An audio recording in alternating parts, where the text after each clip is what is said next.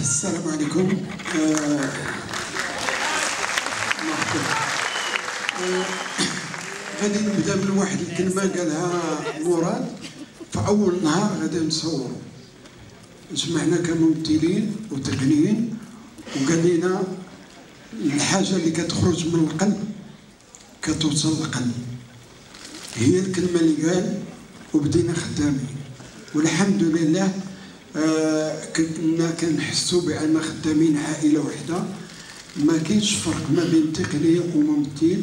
ما كاينش فرق ما بين إداري أو آه، مشتغل في العمل.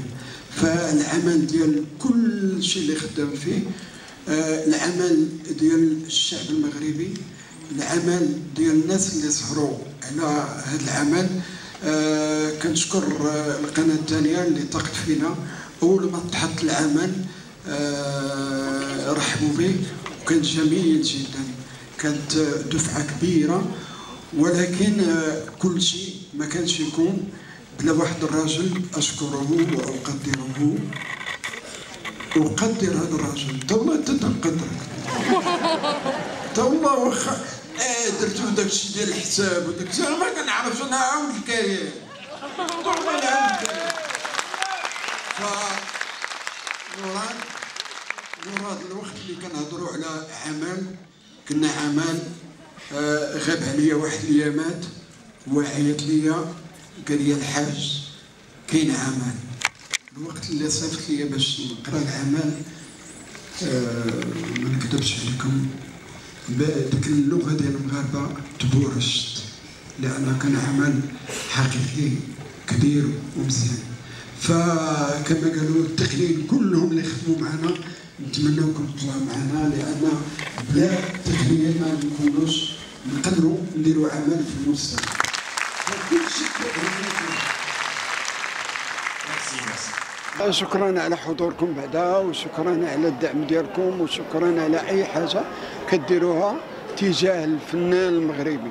لأن الفنان المغربي محتاج للدعم محتاج الناس يوقفوا معاه.